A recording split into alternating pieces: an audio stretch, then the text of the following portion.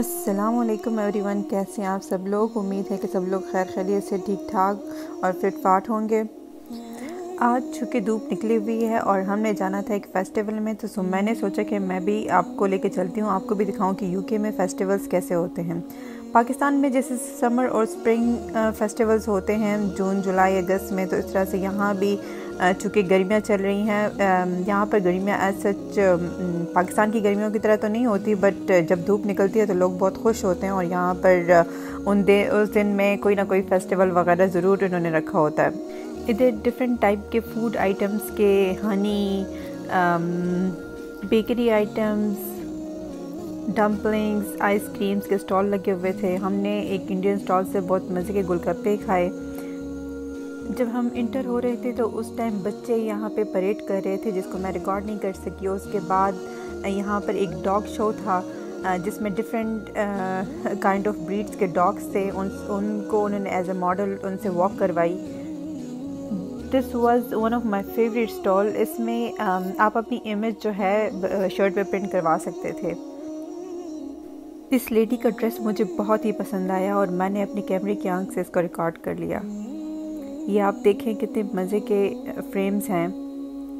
और ये एक दूसरा स्टॉल था जिसमें मेडिसिन आर्ट के डिफरेंट चीज़ें पड़ी हुई थी। ये कस्टमाइज सेंटेंट कैंडल्स का स्टॉल था। ये साथ में लाइव म्यूज़िक भी चल रहा था।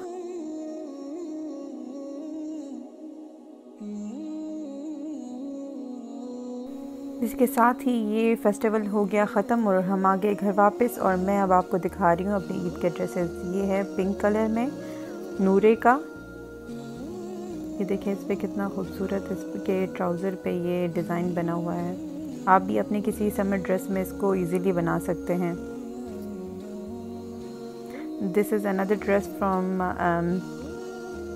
Nishat one of my favourite dress blue colour में। ये सिंपल है, बस इसके ट्राउज़र थोड़ा सा डिफरेंट बना हुआ है।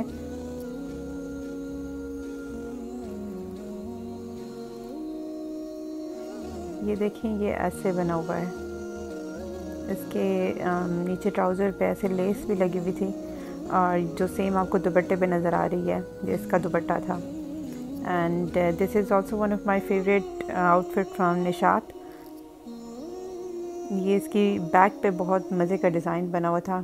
सॉरी मेरे कैमरामैन जो है, वो मेरे हस्बैंड हैं तो अगर ज़्यादा अच्छे से मैं आपको नहीं दिखा पा रही तो एक्सक्यूज़ फॉर दैट ये इसका इतना मज़े का सॉफ्ट शिफोन का दुपट्टा है साथ में। And this one is from Khaadi this is also one of my favourite outfit और इसका कलर मुझे बहुत पसंद है, बिल्कुल डिफरेंट सा। मैंने कभी भी इस तरह का कलर नहीं पहना but I am excited to wear this one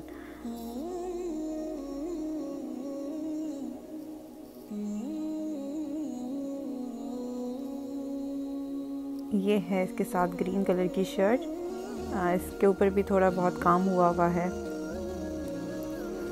So the three were my Eid outfit इसके बाद ये जो है mm, ये बाकी ये मेरे समर के ड्रेसेस हैं um, जो कि कुछ मैंने मंगवाए थे पाकिस्तान मेरे हस्बैंड गए थे तो उनसे मैंने मंगवाए थे। This is also I guess from Nureh so ये ट्राउज़र को देखें आप कितने मज़े का इसका डिज़ाइन बना हुआ था। आप इजीली इसको अपनी किसी भी समर ड्रेस में बना सकते हैं। ये इसका बहुत मज़े का शिफोन का दुपट्टा है। ये देखें ये कितने मज़े के इसके बॉर्डर्स हैं। And this is the shirt Hmm, I love the gala work of this shirt.